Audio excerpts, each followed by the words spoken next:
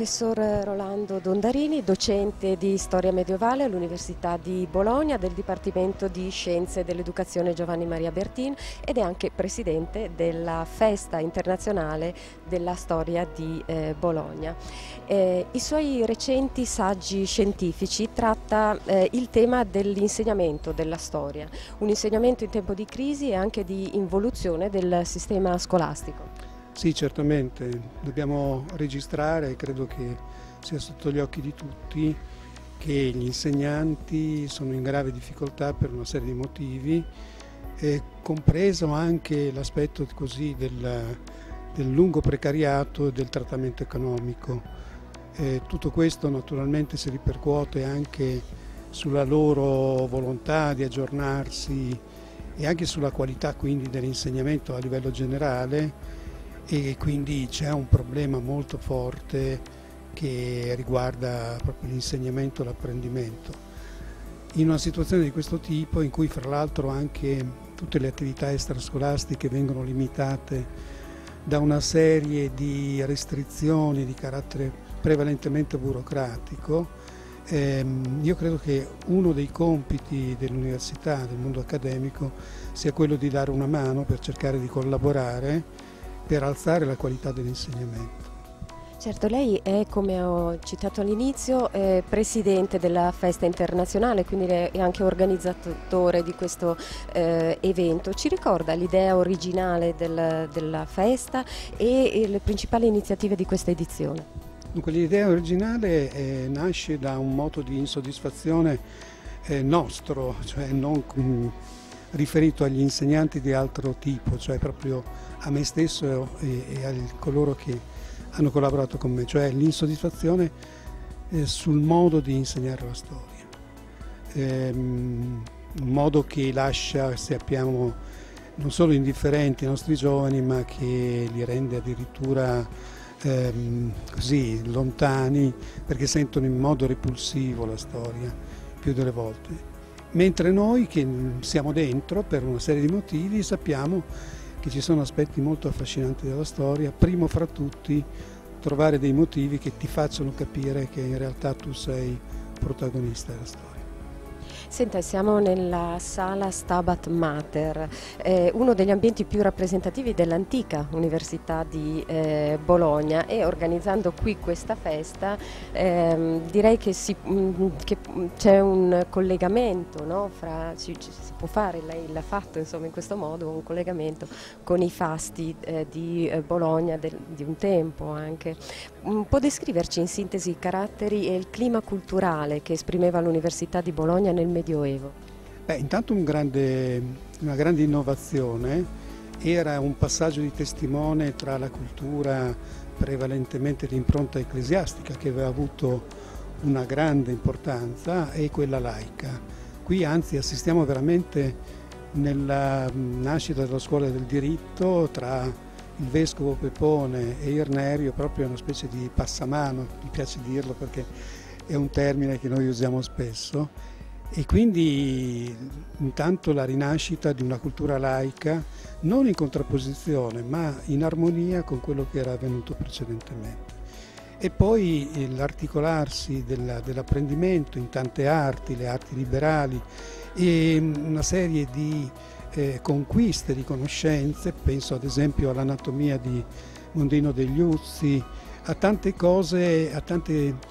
tanti passi che erano poi eh, ulteriori spinte per nuovi passi. Eh, quindi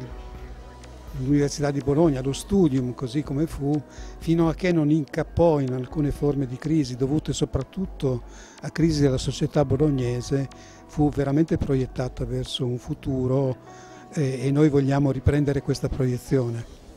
E senta, siamo appunto in questa sala dove tra stucchi e decorazioni varie c'è anche un affresco di, di, una Madonna con il bambino del Cinquecento. quindi Bologna e per esempio la Vergine di eh, San Luca, ma anche Bologna e i Domenicani che eh, hanno ricevuto dalla Vergine eh, il dono del, del Rosario. Eh, ci può dare eh, qualche indicazione, no? rinvio al suo eh, l'origine dell'ordine dei predicatori e l'Università di Bologna? E vede, eh, una delle mancanze di consapevolezze che purtroppo colpisce anche i bolognesi è che non tutti sanno che noi qui abbiamo eh, il fondatore di uno dei due grandi ordini mendicanti, abbiamo Domenico, che scelse appunto Bologna perché città universitaria, perché convinto che, e credo giustamente, che l'ambito a cui rivolgersi dovesse essere quello dei giovani in un momento molto difficile. Siamo eh, all'inizio del 200, intorno al 1920, quando eh, c'erano appena state le lotte tremende anti-ereticali nella Francia meridionale, lui aveva assistito a queste cose e quindi ehm, voleva portare un, un messaggio di pacificazione e nello stesso tempo aprire a un futuro in cui i giovani fossero portatori a loro volta di questo messaggio.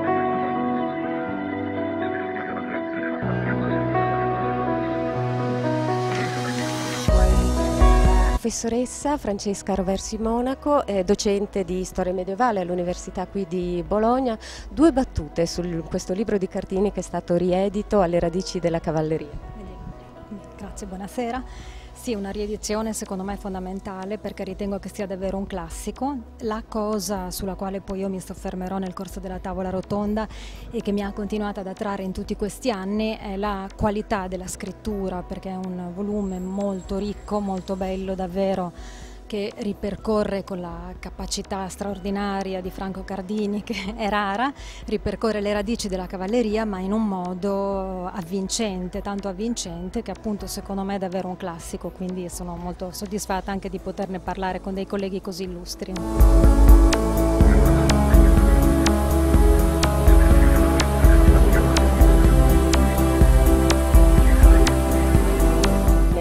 Riedizione del tuo volume alle radici della cavalleria medievale è arrivata anche qui a Bologna con una bella festa, la festa internazionale della storia di eh, Bologna. Che effetto ti fa?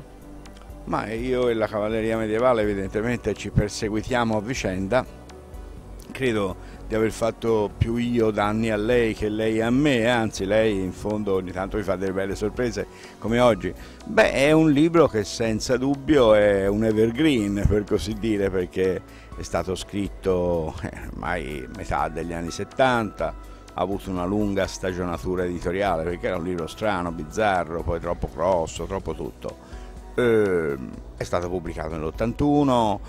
poi ce n'è stata un'edizione pocket che non era pocket affatto perché era ingombrante. Nel 2004 la Rizzoli Sansoni lo ripubblicò e adesso il Mulino l'ha ripubblicato con tutta una serie di apparati, c'è una bella, molto bella introduzione, anzi un invito alla lettura di Alessandro Barbero, molto intelligente, molto spiritoso come sempre c'è una mia noiosa, goffa, non è nemmeno un'apologia, è nemmeno un tentativo di difesa, è una postfazione dove io rispondo un po' agli argomenti di Barbero, un po' fra il serio e il faceto. Il libro nelle intenzioni è un libro serio, fin troppo, che vorrebbe essere un lavoro sospeso fra storia, filologia, archeologia e antropologia, Visto dalla sponda di 40 anni dopo bisogna dire che un po' avanche la lettera perché io lo feci sulla base di, di due belle, mh, forti e solide sollecitazioni, una era la mia frequentazione all'École des Hautes Études con Brodel e Le Goff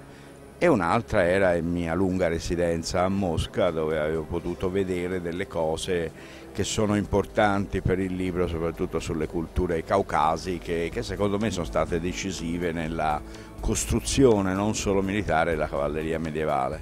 Quindi è un libro che ha un, un ottimo pedigree, quale poi sia stato il risultato, per fortuna non sta a me deciderlo. Senti, in una precedente intervista che ti ho fatto hai detto che però se dovessi riscriverlo oggi forse faresti qualche cambiamento al, al libro, quindi la storia si deve sempre scrivere riscrivere, interpretare e persino rivedere?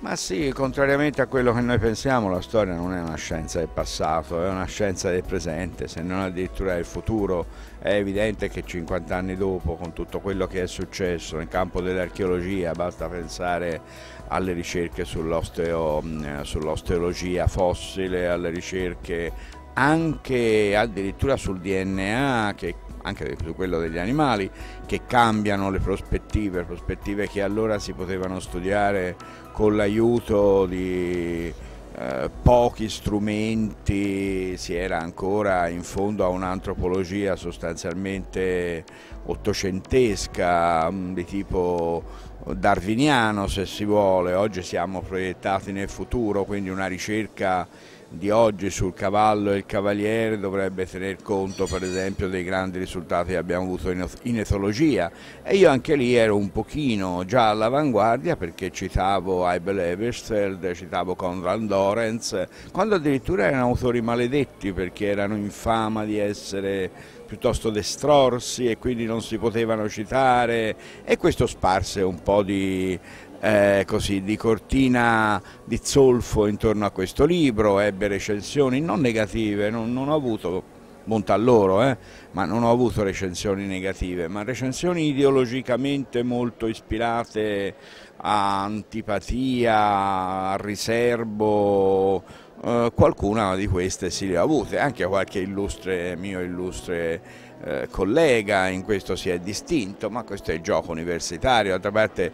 eh, io ero, avevo allora più o meno 40 anni, ero in odore di cattedra e naturalmente c'era qualcuno che ambiva a questa cattedra per darlo a qualche altro collega, magari più valoroso e più meritorio di me, e quindi naturalmente, naturalmente ci sono stati anche questi elementi extrascientifici che hanno pesato. Alla lunga bisogna dire che il libro è stato apprezzato largamente, non è stato granché tradotto, ha solo una traduzione traduzione di cui un po' mi vanto, anche perché è una cosa chic, perché è una traduzione in russo, è una pubblicazione dell'Accademia delle Scienze dell'Unione Sovietica dell'86 e francamente bisogna dire che con tutto il male che si può e forse si deve dire dell'Unione Sovietica, l'Accademia delle Scienze non regalava troppo, ecco, quindi il fatto che abbiano eh, passato a un esame molto accurato questo libro, abbiamo deciso di pubblicarlo loro, mi è, mi è stato... Mm, grande merito. Me, fonte anche di soddisfazione, poi in seguito a quello eh, la Repubblica Sovietica, no, la Repubblica adesso non è più sovietica ma è ancora democratica, la Repubblica Democratica dell'Ossetia in pieno Caucaso mi ha fatto suo cittadino onorario, quindi di questo sono molto contento. Quando vado a Vladikavkaz posso fregiarmi di questo titolo e sono piccole cose naturalmente, però nelle università russe continua a circolare mentre altrove naturalmente lo leggono in traduzione italiana, è piuttosto conosciuto e citato, ma non ha avuto traduzioni forse anche perché un po' la mole e la difficoltà dell'argomento mm, scoraggia un po' i traduttori, ecco. però per il resto. Beh, Abbiamo sentito, abbiamo sentito, poco fa eh, la professoressa Francesca Roversi Monaco che elogiava anche proprio invece il suo modo di scrivere che è, è molto raro, così raffinato, così bello. Beh, eh, Francesca, è un, Francesca, è una carissima amica, quindi probabilmente quando dice le cose ci mette un po' di partigianeria, è giusto che sia così, però detto da lei mi fa piacere perché Francesca, pur essendo giovane, ha dato ottime prove di sé sul piano della medievistica ed è una giovane studiosa dotata di una ottima qualità di scrittura, quindi detto da lei mi fa particolarmente piacere. In generale purtroppo gli storici non scrivono bene, questo va detto ed è un male, dovrebbero curare maggiormente perché insomma l'espressione è parte della comunicazione. Ed è indispensabile per la divulgazione. Per la divulgazione è assolutamente indispensabile, ma io direi che una scrittura, scrittura efficace, anche perché no, una scrittura con qualche eh, non eccessiva volontà se non velleità di tipo estetico non fa di per sé male alla scienza. Ecco, io sono in questo poche volte mi trovo d'accordo con Benedetto Croce, ma quando Benedetto Croce, il quale notoriamente non era un, un universitario, rimproverava gli universitari del tempo, che naturalmente non erano suoi colleghi e lui non li amava, ma li rimproverava di non essere abbastanza letterati e di non rispettare abbastanza il pubblico, beh forse aveva qualche ragione.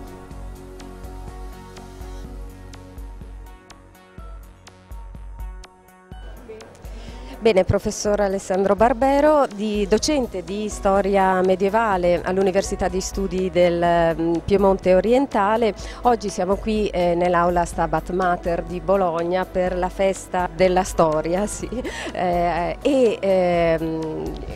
si parlerà della riedizione del, di un libro di Cardini alle origini della cavalleria, di cui lei ha fatto un brillantissimo eh, invito alla lettura, che ha ricordato, prima ho sentito anche il professor Cardini e l'ha ricordato insomma felicemente, e, ehm, e nel quale lei tra l'altro svela tra critiche e polemiche il valore del volume, pur dice ad orso d'un cavallo non ancora ben domato, eh, di carattere assai irrequieto. Anche lei scrive molto bene come, come Cardini. Gli inviti, gli inviti alla lettura bisogna farli così perché altrimenti se si riesce a annoiare il pubblico già nell'invito è finita.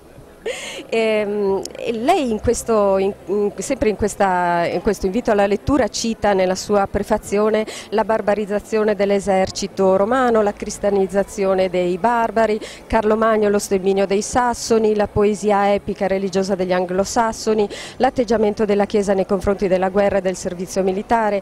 insomma alcuni eh, di questi temi mantengono ancora interesse e non sono stati ancora del tutto svelati eh, e forse compresi negli studi eh, di, di oggi. Sì, al di là del fatto che naturalmente poi in realtà i nostri temi non si esauriscono mai perché ogni epoca guarda al passato con un occhio diverso e quindi per fare un esempio le invasioni barbariche che sono un tema di cui parla Cardini in questo libro fra tante altre cose, le invasioni barbariche fino a qualche anno fa nessuno sarebbe venuto in mente di guardarle come una forma di immigrazione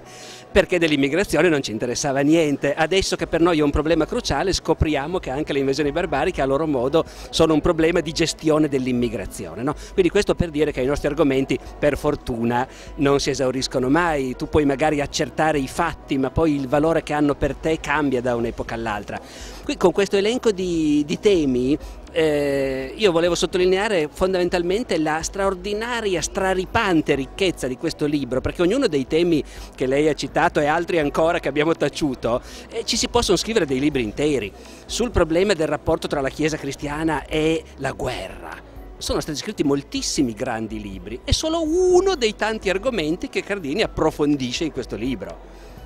Senta, eh, lei qualche tempo fa ha presentato eh, il suo volume, Lepanto, la battaglia dei tre imperi, al corso di geopolitica di Pordenone, eh, quindi per, per, noi di storia. E, mh, mm, si tratta di un volume che ha vinto diversi premi anche e mh, è tradotto in francese e spagnolo. E, quindi le guerre benedette, crociate, eh, la jihad sono un suo tema, eh, ma lei è autore anche anche di uno studio sulla cavalleria. Qual è il ruolo dei cavalieri nelle guerre benedette? La cavalleria, è, è, per quello che Cardini ha potuto guardarla da così tanti punti di vista, è un fenomeno sfuggente che assume tante facce. Probabilmente la cavalleria in origine è soprattutto solidarietà di guerrieri virili che danno valore più di tutto al fatto di essere forti in battaglia, non scappare, non abbandonare i compagni d'arme e che peraltro poi procedono appunto massacrando, uccidendo senza farsi troppi problemi, ma la cavalleria è anche l'enorme sforzo della Chiesa medievale di dire a questi guerrieri no, voi la vostra violenza la dovete usare per dei fini buoni, dovete proteggere i deboli, dovete proteggere la fede, dovete combattere gli infedeli. Questa seconda cosa è solo una parte della cavalleria fino a, crede, a, che punto ci credessero gli stessi cavalieri io non ho ancora capito bene, però ufficialmente a un certo punto si comincia a far finta di crederci. E allora è chiaro che quando ci sono le crociate, le guerre contro i nemici di Dio, che poi preghino lo stesso Dio in un'altra lingua, questo non importa niente a nessuno, ecco, eh, allora i cavalieri entrano in ballo. A Lepanto ci sono i, dei cavalieri, i cavalieri di Malta, che sono gli eredi della cavalleria medievale e che oggi ci sono ancora e sono tornati per fortuna a fare quello che facevano all'inizio, cioè occuparsi di ospedali anziché andare in giro per il Mediterraneo a scannare musulmani. Certo. Eh, senta, lei è anche un grande divulgatore con la partecipazione a trasmissioni RAI e per questo avrei anche il coraggio di chiederle la sua opinione sulla guerra che si sta combattendo oggi nei confronti del cosiddetto Stato islamico e di individuare diversità e differenze eh, e identità eh, con le crociate e le jihad che lei appunto... È una domandina da niente, abbiamo un paio d'ore, vero? Profi?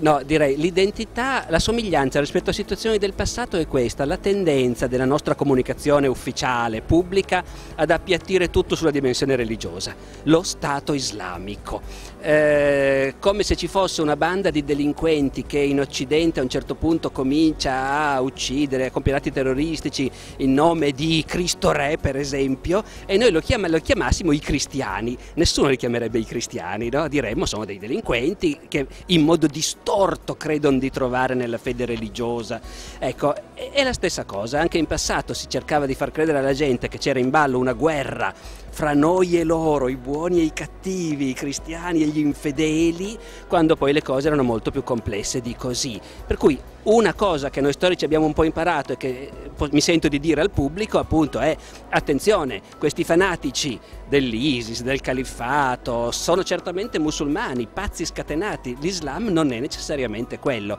Se ci ricordiamo questa cosa riusciamo probabilmente a gestirla un po' meglio la faccenda. Grazie.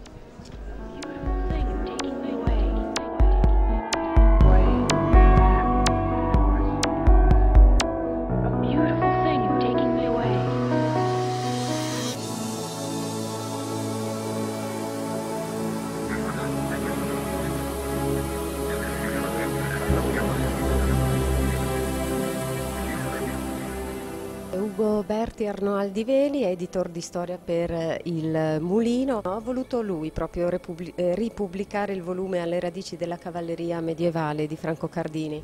un eh, libro poderoso di 668 pagine, compresa postfazione e diversi indici dei eh, nomi, un volume che ha visto eh, l'edizione di diverse decine, de, diverse decine, di anni fa. l'autore anche è prestigioso, è appunto Franco Cardini, che è direttore d'études eh, dell'École des études di scienze eh, sociali a Parigi, è fellow alla Harvard University, è professore professore emerito di storia eh, medievale ed è autore di circa 140 monografie eh, tradotte in 30 lingue. Sì, ehm, la decisione di eh, rifare questo libro in realtà eh, è preceduta dalla decisione di pubblicarne un altro, cioè quell'antica festa crudele che è il libro sulla guerra e la cultura della guerra che è uno dei primi libri di Cardini insieme a questo sulla cavalleria. Eh, allora era all'interno di, di, un interesse che noi coltiviamo da qualche anno sulla guerra e sulla, appunto sulla cultura della guerra, abbiamo fatto molti titoli di, di, di storia della guerra e questo eh, che un, un, di fatto è un, un grande classico per l'appunto sulla cultura della guerra un giorno quasi per caso ho scoperto che era ormai fuori commercio nonostante abbia avuto varie edizioni da vari editori eh, abbiamo chiesto a Cardini di rifarlo e lui ha accettato ed è, è, è nata così eh, la accoppiata di queste riedizioni dei suoi due primi libri che sono probabilmente i suoi due libri di maggior respiro e più, io penso di poter dire, i libri più importanti. Naturalmente sono libri che sono, sono, collocati in una stagione anche della sua ricerca, quindi non, si, non potevano essere rifatti e aggiornati come si fa eh, un manuale, hanno, come si, ri, si, riedita un manuale. Eh, quindi però poteva essere l'occasione di ripensare per lui, di ripensare a, alla storia anche della ricezione del libro e di com'è cambiato nel tempo anche il, il problema della guerra, quindi per quell'antica festa crudele ha fatto una nuova introduzione eh, riflettendo appunto su questo. Poi mentre eh, facevamo, preparavamo questa edizione lui mi ha segnalato che era tornato in possesso dei diritti anche del libro sulla cavalleria, noi pronti l'abbiamo preso, questo è un libro che ha avuto una storia anche travagliata perché uscì anche in mezzo alle polemiche e tuttavia rimane un, un, libro molto importante, è stato tradotto anche in francese, è stato tradotto anche in russo, questo spiega la, la stratificazione de, della nostra edizione perché l'edizione una delle edizioni successive aveva la prefazione di Jean Fleury, che è uno storico francese, eh, dell'esperto di crociate in particolare, che l'aveva recensito e anche prefatto nell'edizione francese, poi c'era l'introduzione sua e poi lui desiderava, è stato un suo eh, desiderio di essere prefatto da, da, Alessandro Barbero, che è un esponente della generazione successiva. Poi naturalmente, siccome è un autore debordante, alla fine ha pensato bene di fare una postfazione, quindi alla fine è risultato una specie di libro astratti che però eh, racconta bene anche l'evoluzione eh, della ricezione di questo libro nel tempo di questi ormai 30 e più anni di vita. I grandi libri sono sempre attuali, forse questo è il significato delle due riedizioni allora. Sì, io lo spero, almeno dovrebbero, eh, uno dei, dei sensi di questa operazione è, è, che i grandi libri in realtà spariscono subito, come, anche come i brutti libri, nel mercato editoriale contemporaneo, che ormai non si può più permettere di tenere in commercio, in catalogo per decenni libri che magari sono importanti ma vendono poco, per cui eh, credo che un'operazione secondo me culturale interessante, in qualche caso anche di, di, di, di, pietà, secondo me, riportare in vita libri che sono scomparsi e non lo meritavano affatto. Io credo che questi siano libri che hanno ancora qualcosa da dire ed è giusto che siano vivi e per quello che possiamo li teniamo vivi noi.